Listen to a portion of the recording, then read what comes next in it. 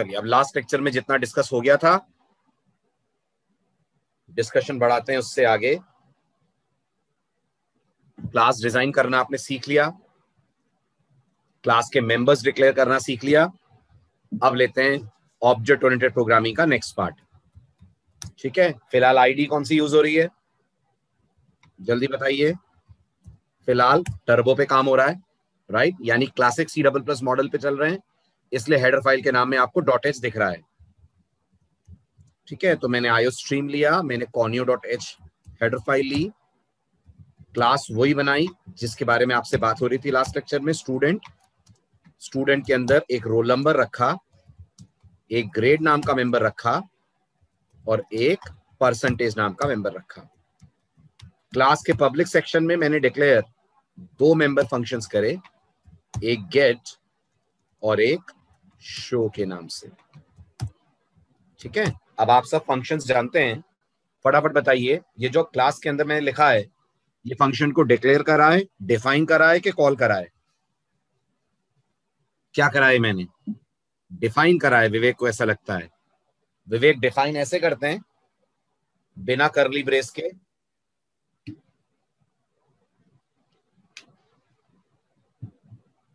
Very good मैंने class के अंदर मेंबर फ़ंक्शंस को फ़िलहाल डिक्लेयर करा है डिफाइन नहीं करा है ठीक है?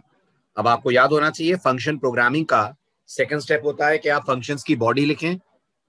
हा या ना? है ना? तो अब आपका नेक्स्ट स्टेप होगा, आप गेट और शो मेंबर फ़ंक्शंस को डिफाइन करें, ठीक है?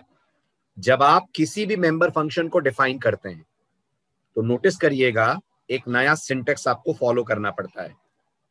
जब आप किसी भी मेंबर फ़ंक्शन को डिफाइन करते हैं तो नोटिस करिएगा, आपको एक नया सिंटेक्स फॉलो करना पड़ता है। What is that new syntax उसके बारे में बात कर रहा हूँ मैं। आप मेंबर फ़ंक्शन को डिफाइन करते वक्त सबसे पहले मेंशन करेंगे मेंबर फ़ंक्शन की return type okay return type के बाद जो नई चीज़ आएगी, वो आएगी क्लास का नाम। क्लास के नाम के बाद दो कोलन। कितने कोलन दिख रहे हैं? जल्दी बोलिए। दो कोलन। उसके बाद आपके मेंबर फ़ंक्शन का नाम, जो भी आपके मेंबर फ़ंक्शन को आपने नाम दिया है, वो नाम आएगा। उसके बाद मेंबर फ़ंक्शन के पैरेंथेसिस होंगे। अगर आर्गुमेंट है तो वो होंगे।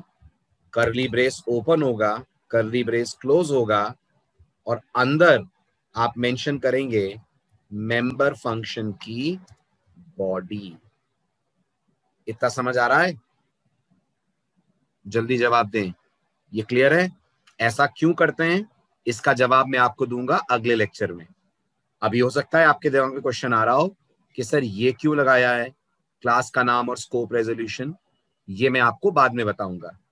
अभी बस इतना मान लीजिए, अगर एक मेंबर फ़ंक्शन डिफाइन करा जाता है तो सी प्लस प्लस का सिंटेक्स होता है कि आपको क्लास का नाम और स्कोप रेजोल्यूशन ऑपरेटर ये दो चीज़ें लगानी ही लगानी है। Is everyone able to understand this point इसे आप अभी सिंटेक्स का पार्ट माने। अगर ये सी लैंग्वेज होती तो आप रिटर्न टाइप के बाद सीधे फ़ंक्शन का नाम लिखते। हाँ या ना? अगर ये सी प्रोग्रामिंग होती तो रिटर्न टाइप के बाद सीधे फ़ंक्शन का नाम लिखा जाता। करेक्ट लेकिन सी डबल प्लस में रिटर्न टाइप के बाद क्लास का नाम और स्कोप रेजोल्यूशन लगाया जाता है। उसके बाद लिखा जाता है मेंबर फ़ंक्शन का नाम। इसमें लॉजिक मत ढूंढिएगा। ये सी डबल प्लस का सिंटेक्स है और फिर मैं आपको बताऊँगा ये सिंटेक्स क्यों है। हाँ एक चीज़ ज़रूर बता दूँ।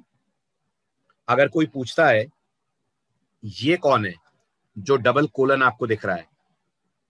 तो ये जो डबल कोलन दिख रहा है इसको डबल कोलन नहीं बुलाते। इसका सी प्लस प्लस में प्रॉपर नाम दिया गया है और इसे सी डबल प्लस में नाम मिला है स्कोप रेजोल्यूशन ऑपरेटर समझ रहे हैं? ये जो आपको दो कोलन नज़र आ रहे हैं they in C plus plus are better known as scope resolution operator ठीक है? आज के लेक्चर का पहला नया ऑपरेटर यही है and we call it scope resolution operator is this clear to everyone ठीक है। अब आ जाइए आप अपने कोड पे। Now our next task will be to write definition for this so will write void student scope resolution get अंदर आप लिखेंगे सी आउट डबल कोट्स में enter roll comma grade and percentage ये यूज़र को आप मैसेज देंगे, क्योंकि इसी पर्पस के लिए आपने गेट बनाया है। गेट का काम है यूज़र से इनपुट लेना। अगर सी लैंग्वेज होती तो आप इनपुट कैसे लेते? जल्दी बताइए। अगर सी लैंग्वेज होती तो आप इनपुट लेते प्रिंटर स्कैनर लिखकर। लिखते ना स्कैनर और स्कैनर के पहले एक प्रिंट यस और नो है ना? सी डबल प्लस में इसी काम को करने के लिए आप यूज़ करेंगे सी आउट और सी आउट के साथ सी इन सी आउट यूज़र को बताएगा इनपुट क्या देना है और सी इन यूज़र को चांस देगा कि वो एक्चुअल इनपुट दे पाए। और ये बात क्लियर ठीक है? तो यहाँ आ जाएगा सी आउट इसके बाद आ जाएगा सी इन सी इन में roll followed by grade followed by percentage ये आपका पहला स्टेप इसी तरह से आपका नेक्स्ट स्टेप है, इस डेटा को स्क्रीन पे डिस्प्ले करना। फॉर दैट आप शो डिफाइन करेंगे। जिसमें आप लिख देंगे C out roll followed by insertion operator then grade followed by another insertion operator then percentage followed by endl इतना क्लियर है? जल्दी बताइए। आ रहा है समझ?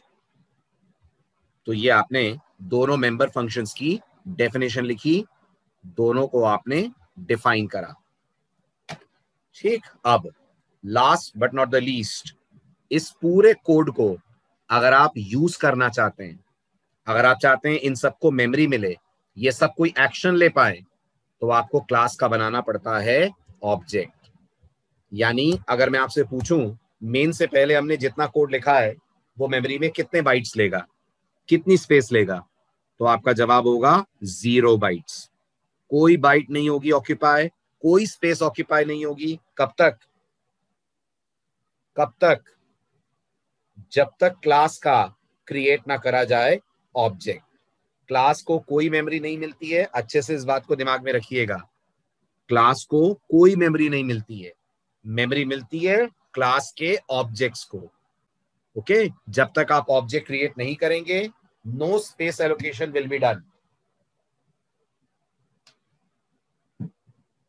अब आपने लास्ट लेक्चर्स मिस नहीं करे हो तो फटाफट बताइए ऑब्जेक्ट बनाने का सिंटेक्स क्या होता है? जल्दी बोलिए ऑब्जेक्ट बनाने का तरीका सिंटेक्स क्या होता है? ऑब्जेक्ट बनाने का सिंटेक्स होता है। आप लिखते हैं क्लास का नाम, हमारे केस में हो गया स्टूडेंट और हमारे ऑब्जेक्ट का नाम जो हमने दे दिया एस ठीक है? नाउ वॉच वेरी केयरफुली जैसे ही आप कहेंगे स्टूडेंट एस मेमोरी में क्या हलचल होगी? इसे मैं आपको विद डायग्राम समझा रहा हूँ। मेमोरी में हलचल ये होगी कि कंपाइलर एक सेवन बाइट्स का ब्लॉक रिज़र्व करेगा। सेवन बाइट कैसे कैलकुलेट करा अपन ने? कैन यू टेल मी ये सेवन बाइट कहाँ से आ गए? क्लास के अंदर के डेटा मेंबर की साइज़ निकाल लीजिए आप। इंटीजर टर्बो कंपाइलर में दो बाइट के होते हैं। कैरेक्टर टर्बो कंपाइलर में एक बाइट का होता है। परसेंटेज चार बाइट के। तो two plus one three three plus one four total हो गई सेवन बाइट्स हो गया? Two plus one three three plus four seven bytes ठीक? तो ओवरऑल सेवन बाइट्स का आपका ये ऑब्जेक्ट क्रिएट होगा। जिसके अंदर एक रोल नंबर होगा, एक ग्रेड होगा और एक परसेंटेज होगी। और इस ऑब्जेक्ट का नाम क्या होगा? एवरीवन प्लीज़ रेस्पॉन्ड इस ऑब्जेक्ट का नाम क्या होगा? इस ऑब्जेक्ट का नाम एस होगा।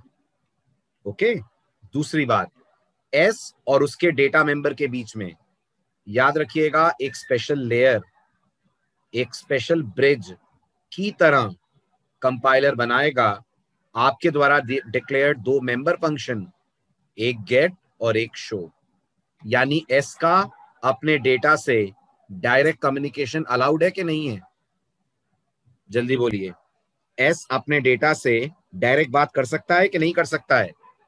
एट एनी कॉस्ट नहीं कर सकता है। हरगिज नहीं कर सकता है।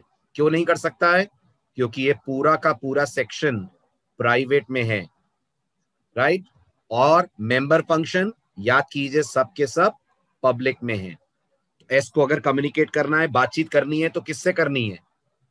एस को अगर कम्युनिकेट करना है, बातचीत करनी है इंटरैक्ट करना है तो किससे करना है? तो एस को इंटरैक्ट करना है क्लास के मेंबर फ़ंक्शन से। एस का इंटरैक्शन गेट से अलाउड है एस का इंटरैक्शन शो से अलाउड है, लेकिन एस का डायरेक्ट इंटरैक्शन रोल ग्रेड पर से अलाउड नहीं है। तो क्या गेट और शो रोल ग्रेड पर से बात करेंगे?